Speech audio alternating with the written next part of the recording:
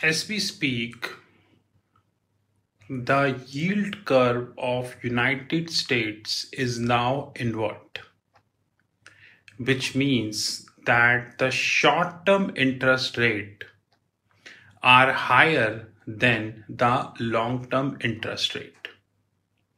And I've been warning this last one year, but now officially speaking, the yield curve inverts.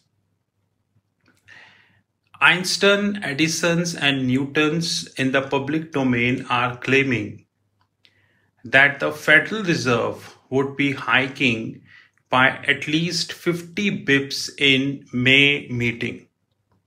And I'm very happy because if Federal Reserve would be hiking by 50 bips, then US is